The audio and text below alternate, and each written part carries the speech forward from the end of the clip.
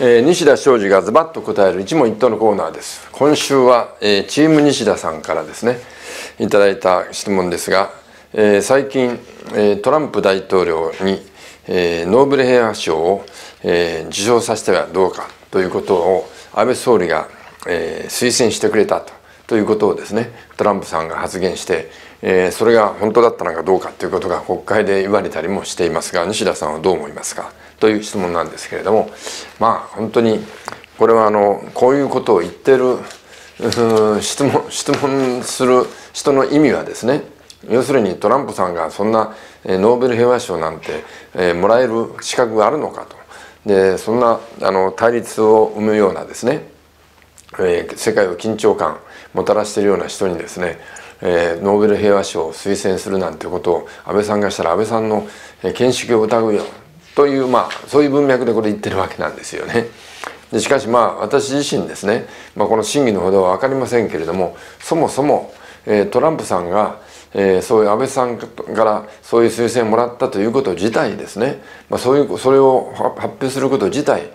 真実であろうがどうであろうか別にしてですねそもそも非常識ですよね。でまあ要するに首脳同士の会談の中でいろんなことがありますけれども表にしていいこととこれはもういわばですね、えー、自分の懐の中に収めてですね置くこととあるわけですよね。で今回のこのノーベル賞問題なんてのはまさにその手の問題で、えー、仮にそういうことをですね推薦があったとしても言うべき問題じゃないしまたそれを言ってですね披露するような問題じゃ当然ありません。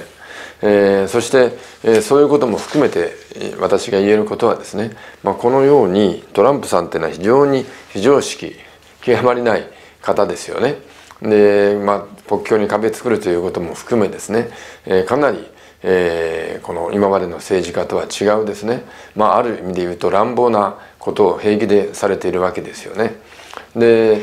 でそういう方に対して反発が当然あのいろんなとこから国の内外からのは当然なんですけれどもそういう方が片っぽでアメリカの大統領であるということは真実なんですよ。でその方と安倍総理はですね話をしなくちゃならないと。で特に北朝鮮問題、えー、北朝鮮の核の脅威、まあ、一番受けるのは日本でありますからね。でこの問題で、えー、アメリカとの、えー、協調をしていかなければならないという現実が片っぽであるわけですよね。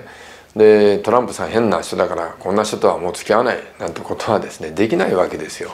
でこれが政治の現実ですよねだからそう思うと私は安倍総理本当によく、えー、こういう個性的な世界の、えー、首脳ともですね話をしながら、えー、現実のこの日本の国益守るためにやっていかなきゃならない外交交渉をやっていかなきゃならないというのは本当に大変なご苦労だろうなと思います。まあ、同情もするし、まあ、尊敬をに値すると思いますよこのご苦労は。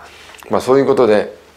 えー、むしろ、えー、そこをですね我々見なければならないんじゃないのかと。それからもう一つはですね、えーまあ、トランプさんのやり方乱暴なところもありですね、え、問題もたくさんあると思いますけれども現実問題として私もこれ良かったなと思うのは、まあ、北朝鮮と、え、とりあえずですね話をしたと。でこれでまだ視覚化の道筋は、えー、全て立ってるわけじゃありませんけれども少なくともそれまでですねもう毎週のようにですね、えー、各その配備したですねミサイルを、えー、飛ばす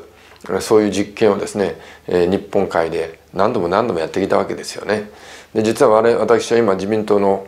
えー、国会、参議院の国会対策委員長代行という役割をしてますけれども、まあ、そういうことがあるたびにですね実はその、えー、国対のメンバーそれから、えー、幹事長室などですね党の首脳の、えー、メンバーですね、えー、そういう事態が起こるとすぐに、えー、党本部に集まってですね、えー、緊急事態に備えていくということがずっと、えー、されてきたんです。でところがまあ、トランプさんとの会談以降ですねなくなりましたので今とりあえずそういうですね、えー、待機するというのは今、えー、今あのしなくていい状態になっていますけれどもこれも、えー、現実にですね北朝鮮がトランプさんとの会談以降ですね、まあ、各、えー、ミサイルの、えー、装備に向けたそういう発射実験をですねやめているという現実。これは確かに日本にとっては、えー、大いに評価すべきところだったと思いますよ。まあ、そういうことで、えー、あの野党まだ、まあ、マスコミも含めてですね、まあ、安倍総理のためにするためにですね、まあ、いろんな発言を言ったりしますけれども私はまあ彼らの立場としてはそういうこともあるんだろうと思いますけれども現実を見るとですね本当に、えー、とんでもない、えー、個性のある方とですね、え、現実の政治は折衝していかなくてならない。まあ、これは本当に大変な気苦労、えー、また実際の本当に大変な努力が必要だということをぜひ皆さん方にはご理解いただきたいと思います。えー、ということで今週はですねチーム西田さんのほか、えー、田しなりさんですでしたかねそれから疑心暗鬼さんトロッコさん2通マイケル山田さんエビチューファミリーさん、えー、それからお茶番号さん電気屋さん2通フクロウさん、えー、以上11通プラスいつものウッキーさんからお便りいただきました。ありがとうございました。